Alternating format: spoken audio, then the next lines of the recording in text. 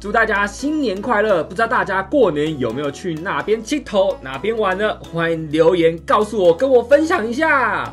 官方在今年送各位第一个红包就是夸克新年限定造型免费送，除夕登录就能直接领到。官方送大家第二个大红包，就是在活动页面左边点到第三个，然后有一个活动叫灵狐进宝。看到这个画面，想必大家都不陌生啊！吼。白嫖点券啊，总共会有八次的机会，越来越贵这样子。那第一次呢，花三十点券，保底可得三十，最高可得六十点券，为大家实测一下。最后我获得了六十点券，最高哦。跟大家分享，我四支账号第一关都是甩到六十点券，应该是官方故意设定的啦。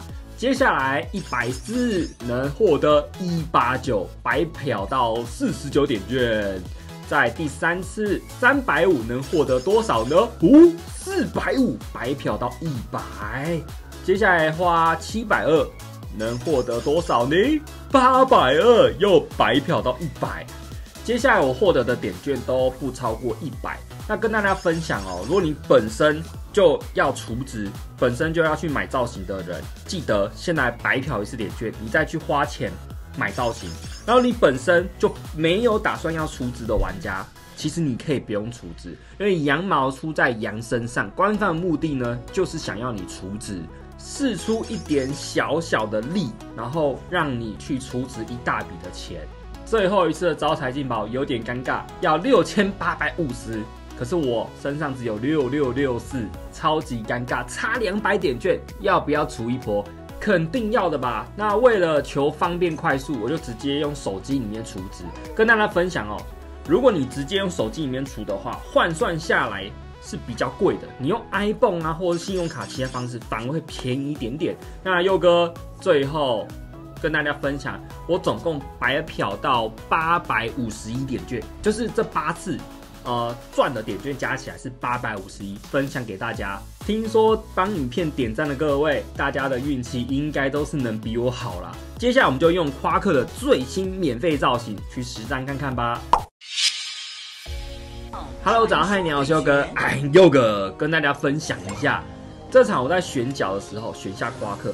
过了五秒，我都看没有人选其他的辅助嘛，我就很安心的跑去厕所尿个尿回来。一进到游戏里面，怎么辅助装买不到，被人家买走了？一看怎么会有雅雅，我吓死了。看来我被霸王硬上弓了是吧？强迫夸克走中路也是 OK 啊。一开始拉到了阿莱斯特，利用我们的魔纹自然之怒外加塔的伤害，直接手杀掉阿莱斯特。我万万都想不到阿莱会有这一天哦，不对，是夸克会有这一天。还有一只辅助哥德，他还想躲在冰后面呐，照样拉进来。可惜我的自然之怒还没冷却好，就放他一马吧。这场我就想了想，如果我还去出什么全坦装的夸克，会有点力不从心。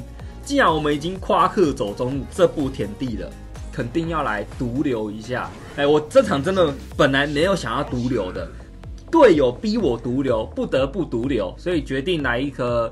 魔宫夸克来踹踹看，试试看，全魔宫夸克搭配这次的造型，到底感觉如何呢？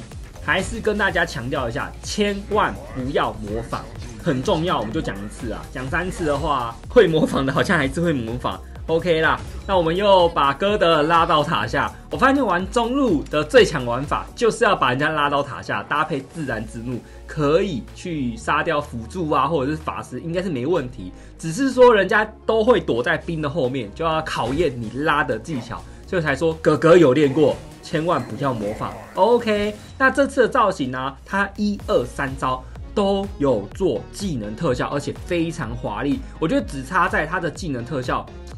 没有那种掉出钱的感觉，就是很多钱的感觉。毕竟这个造型呢，叫做财源滚滚嘛，过年的造型，感觉它那个一技能踩一下，那个周边感觉要喷很多钱出来。我觉得这个这个造型呢，它放在抽奖，我可能都会买的感觉。虽然免费啦，梅鱼虾也好嘛，对我不会念台语啊，客家人，所以我就念国语。梅鱼虾也好，也是不错的啦。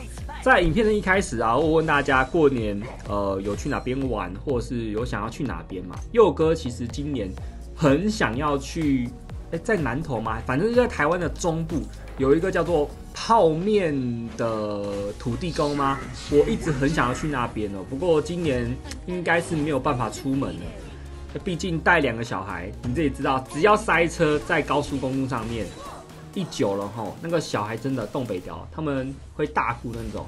有时候太久会饿啊，或是那个汽车座椅安全座椅坐不住，所以想了想啊，只能再过个几年，等他们再大一点再去吧。其实那个泡面土地公哦，我可能一两年前就很想去。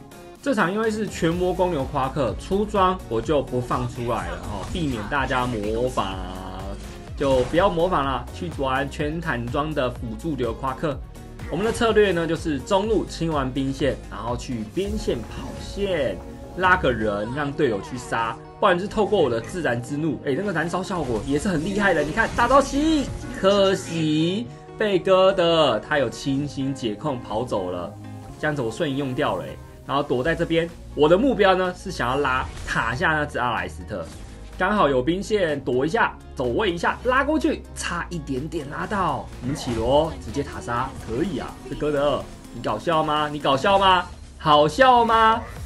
老实讲，起罗这样进塔，如果不小心被哥德控到塔下，好像有点危险哦。然后再拉到哥德，自然之怒烧起来，这伤害还是没办法单杀哥德。果然夸克只能只适合走辅助位啦。看到下路的井，看来是一个单杀。突然间看到了甲虫拉过来，搭配起罗，虽然我伤害不够，但是有队友就没问题了。所以这关键还是有队友嘛。出魔攻要单杀人太困难了，自己不要被单杀就已经不错了啦。那这场看起来雅雅应该是跟井双排吧？难怪我每次去魔龙路，我的画面都是白的哦，看不下去，都要戴墨镜才能去魔龙路。那又拉到阿莱斯特，这伤害又差一点点。啊，不就还好？青燕直接从后面进来，可以哦。大家去塔下吃个补包，回个魔，主要是回魔啊。这个魔太缺了，塔下蓝色的补包可以回比较多的血跟魔。那如果是上下两路绿色补包，就没有回那么多。就是中路的蓝色补包是回最多的。等待一下我们的钩子，下一个要勾谁呢？假冲大招扑过了，想跑嘞，还想跑。又是哥德尔，然后我很怕被阿莱绑在塔下，所以赶快出塔。果然他绑我了，可以，我就等他绑我，也就是牺牲打的意思啊。打到现在，我看的比数十五比零，有点夸张，我就觉得这场好像怪怪哦。这时候我就有点在怀疑对面是不是电脑。可是你看哦，哥德尔他的清新解控，他的瞬移啊，其实都用的还算蛮到位的。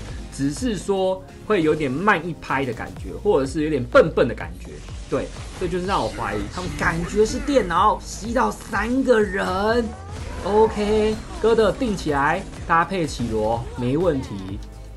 这时候我在想，该不会是我们因为带太太顺风了，所以才会有这种画面？如果我们是逆风的话，或许没有办法完成这样子。所以我们就继续看下去，到底是不是电脑厂吧？马洛斯复活出来，然后砍一刀，一个人都没砍到，什么？然后大刀还跳出来，他感觉是想要劈我们一刀，没有跳到，然后赶快跑走。然后后面有个阿来，直接把他吸起来，然后苏跟甲虫一起被吸，什么意思？嗯，这个越来越有机会是电脑拉过来，不要再跑了。然后还有一只苏，我的钩子还在冷却，基本上二十三比零。是有点太夸张了，打到目前为止，我觉得电脑厂的几率高达九成，不知道大家怎么看呢？我是佑哥，我们就下部影片见喽，拜拜。